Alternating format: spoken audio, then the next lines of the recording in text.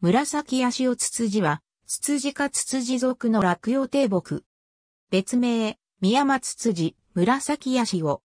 高さは1から2メートルになり、若い枝には泡褐色の長毛と長い繊毛がやや密に生え、後に落ち無毛となる。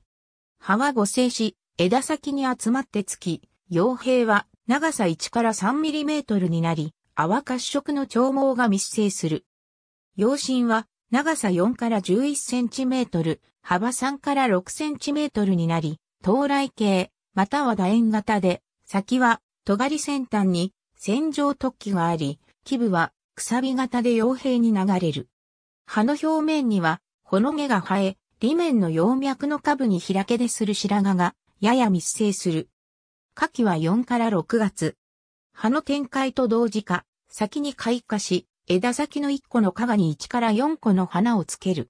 花柄は長さ5から15ミリメートルになり、長毛と繊毛が密生する。花冠は先行紫色で計4センチメートルの高ロート型でご陳列し、花冠の上側内面に濃色の斑点がある。オスシベは10本で、内上部の5本は短く、花糸に白色の短毛が生え、下部の5本は長く花冠の外側に伸び、無毛。花中は無毛で脂肪には繊毛が密生する。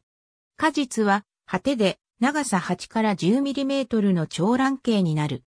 北海道、本州の東北地方及び中部地方の日本海側に分布し、産地から鉱山の林園やソリン内などに生育する。